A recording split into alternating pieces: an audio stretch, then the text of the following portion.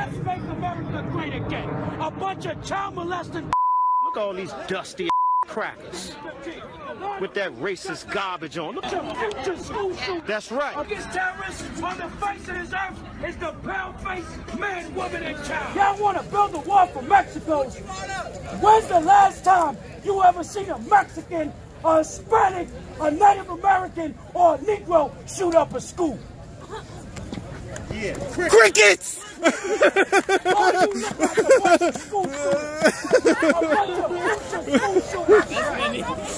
Yeah, now you gotta run with that one. Now you gotta run with that one. Yeah.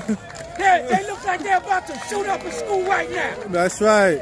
You don't see blacks, Hispanics, Native Americans, and and and and all. And nobody on the face of this earth shooting up schools, shooting up churches, shooting up synagogues. But you got a problem with us?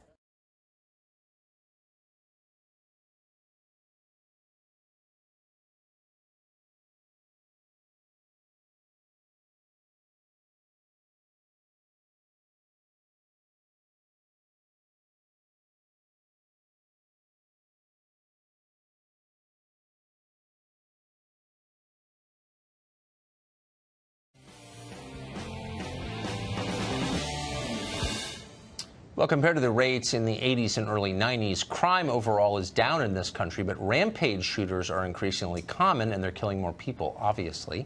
Almost all of them are young men. The question, which for some reason very few people ask, but is the key question, is what's driving this surge in extreme antisocial violence? Jordan Peterson, thanks for joining us tonight. My pleasure.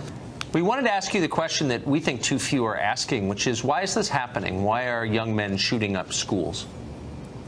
Because they're nihilistic and desperate. How'd they get that way? Well, I think life can make you that way unless you have a, a purpose and a, and, a, and, a, and a destiny, let's say. I mean, there's no shortage of suffering and malevolence in life, and it's easy for people to become embittered by that. And if they don't see a way out, see a way forward, they get angry about it and and turn against life itself. And they make a display of their hatred for being by massacring the innocent. That's what's happening.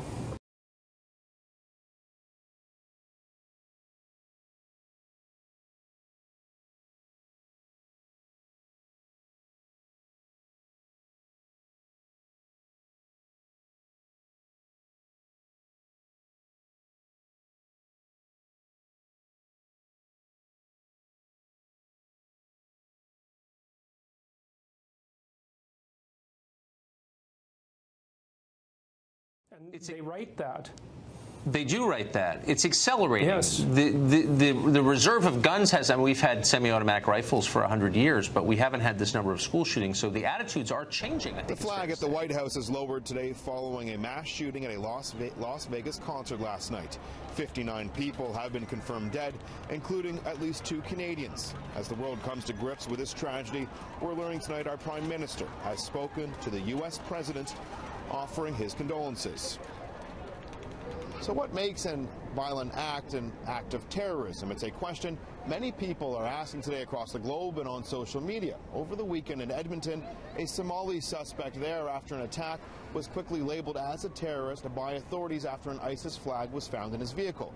Though in Las Vegas, where a white man is allegedly responsible for the death of more than 50 people, officials there have yet to call this terrorism. We believe it's a local individual. He resides here locally. Um, I'm not at liberty to give you his uh, place of residence yet because it's an ongoing investigation. Uh, we don't know what his belief uh, system was at this time. And right now, we believe it's a sole actor, a lone wolf type actor. It's called framing. And the way we frame these stories is, is that if it's a person of color, it must be terrorism. If it's a white person, it's probably not. It's probably a mental health issue. We are now so used to the idea that acts of violence committed by people of color must have something to do with other issues, and that acts of violence committed by white people have to be mental health issues. This Washington Post headline describes the alleged shooter as a gambler who liked country music and lived a quiet life. Memes also have been popping up on social media today, including this one from Family Guy, suggesting different classifications for different cultural backgrounds. During our Facebook Live interview with U of T's Jeffrey Dvorkin, viewers also weighed in. Anthony Garcia wrote, The motive behind this terror attack in Vegas is hate, bigotry, and racism, so now you do the math. Samantha Caddo Singleton chimed in, saying, If you're white, it's not terrorism. Usually the definition of terrorism has been exclusive to politically motivated acts. Uh, but academics look to expand that definition because of the manner and the number of people that are killed in these in these kinds of attacks. So, uh, you know, it, of course, we don't know what the motive is. We don't know the information is still coming out. But, you know, I, I was just saying on Twitter, look, if, if killing 50 people and injuring 200 isn't terrorism, then then I quit.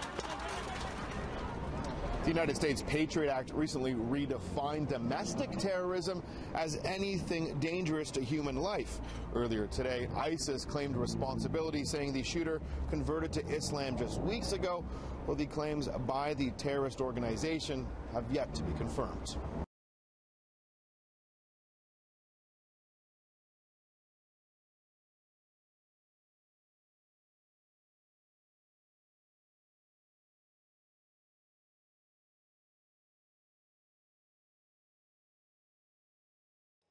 Valentine's Day 2018, the massacre at Marjory Stoneman Douglas High School in Parkland, Florida. 17 students and teachers were killed. Students recorded the incident as they hid. We initially thought it was a drill, so we were all taking our time. We heard more gunshots, and that was when we realized this was not a drill. Police say the gunman, 20 year old Nikolas Cruz, confessed to the massacre. He pled not guilty. This wasn't the only school shooting. On May 18th, Nine students and one teacher were shot and killed at Santa Fe High School outside Houston. I shouldn't be going through this at my school. 17 year old Dimitrios Pagourtzis was identified as the shooter.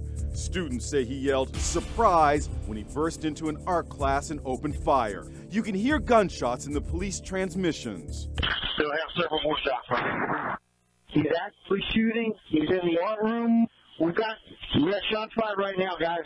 We need all of you. A newsroom was the scene of another mass shooting. On June 28, a gunman walked into the Capital Gazette newspaper in Annapolis, Maryland, killing five people. Somebody was shot. Someone was shot. The gunman, identified as Jarrod Ramos, had allegedly been upset over an article published by the newspaper detailing how he harassed a woman on social media. He has pled not guilty. Then, on the morning of October 27th, a house of worship was targeted when a gunman entered the Tree of Life Synagogue in Pittsburgh. Suspects talking about uh, all these Jews need to die. 11 people were killed. I spoke to 76 year old Barry Werber, who survived the shooting. I went to the door and I pushed it open and I saw one of the bodies on the steps. The suspect, 46 year old Robert Bowers, could get the death penalty if convicted. Not even two weeks later, on November 7th, all of America was saying not again after 12 people lost their lives when a crazed gunman opened fire at the Borderline Bar and Grill in Thousand Oaks, California. College students were enjoying country music night when mayhem broke out. 28 year old Ian David Long, a former Marine, was identified as the shooter and was found dead at the scene. A year of terror and heart wrenching pain. That deadly rampage at a Florida bank tonight, we have now learned that all five victims were women. One of them, a mother of seven. And tonight, what the gunman's former girlfriend has now revealed. ABC's chief national affairs correspondent Tom Llamas is in Sebring, Florida tonight. Today, 21 year old Zephen Xaver facing a judge and charged with five counts of premeditated homicide murder. Police say the alleged shooter walked into the SunTrust Bank with a bulletproof vest and a 9mm handgun forcing the four employees and lone customer to the ground, shooting them execution style. All five victims were women. Just moments before the shooting began, 75 year old Victor Sparks tried entering the bank, but the doors had already been locked by the alleged gunman. I was so thankful for the, for the fast response. And I would say probably in three minutes there were eight uh, police cars there. Police then ramming the entrance when Xaver refused to surrender. At that point, were you under the assumption the victims may still be alive? We hope the victims were alive. But it was too late. And now, a young woman who says she's the shooter's ex girlfriend says she warned people about his alleged desire to kill. Talking about guns and wanting guns, and he wants to hurt people physically. Tonight, police releasing the names of three of the victims Marisol Lopez, a teller at the bank, Cynthia Watson, the loan customer, and Ana Piñon Williams, who had just started working there a few weeks ago and a mother to seven children. Loving her was easy. Living without her will be hard. And Tom Llamas with us live tonight from Sebring, Florida. And Tom, I, I know still no known motive, and there was one person you learned in that bank who did manage to escape. David, we just learned that incredible piece of information moments ago. Police telling us there was another bank employee who was in the back of the building in a break room, and when this person heard the gunshots, they took off running, calling 911 along the way. And David, you mentioned investigators have no motive. What they do have is video surveillance, and they say it will show this was a calculated mass shooting and not a bank robbery. David? All right, just an awful story, but Tom Llamas, our thanks to you tonight. A manhunt is underway in Louisiana after police say that five people were killed Saturday in two separate but connected shootings. The shooting spree happened about an hour west of New Orleans. A married couple are among the victims. Police have identified their 21 year old son, Dakota Theriot, as a suspect. Investigators are also looking into whether he had a romantic relationship with one of the other victims. Terrio remains on the run. Police say that he should be considered armed and dangerous, and anyone who spots him should avoid making contact. Breaking tonight, we have learned the identities of five people who authorities believe were shot to death at a property in Polk County. This is our first look at the victims, one of whom we're told was a one-year-old little girl. The Polk County Sheriff's Office and the Texas Rangers have been on scene all day in Livingston, about 75 miles northeast of Houston. More specifically, the 3600 block of FM 3126. And our Sophia Beausoleil is joining us now from the Polk County Sheriff's Office. Sophia, such a tragedy, and it may have a Facebook component as well. That is correct, Bill. It's been a very sad day for this community, the family involved, and law enforcement. The Polk County Sheriff's Office tells us that the five people who died from apparent gunshot wounds were all members of the same family. The Sheriff's Office also told us that they are waiting on the medical examiner's report to determine who exactly was the shooter, and they want to let the public know that tonight they do not believe, again, they do not believe that the community is in danger. On most days, neighbors will tell you the 3600 block of FM 3126 is usually quiet. But Monday morning, the red roofed home on the Delaney Ranch became a crime scene. It's just so sad. Like, this doesn't happen on an everyday basis. It's Polk County. This is a, a horrible horrific scene. The Polk County Sheriff's Office says around 10:32 Monday morning they received a phone call for EMS and police at this home in the Blanchard community. They found 15-month-old Ranley Horn, her mother 27-year-old Ashley Horn, and great-grandmother 72-year-old Linda Delaney dead outside their home with gunshot wounds. Inside the home, they found the child's great grandfather, 74 year old Carlos Delaney, and the little girl's father, 54 year old Randy Horn, dead with gunshot wounds as well. But authorities say there was a survivor, Ashley Horn's mother. This female was locked in a back bedroom. This female is the one who actually called the outside person who, who called our agency to alert us to what, what had happened. As to who the shooter was, Chief Deputy Lyons says they are waiting on the medical examiner's office, but they are looking into cryptic messages Randy Horn posted on Facebook. He was Ashley's husband and Ranley's dad. We are aware of the uh, Facebook page made by uh, Randy Horn.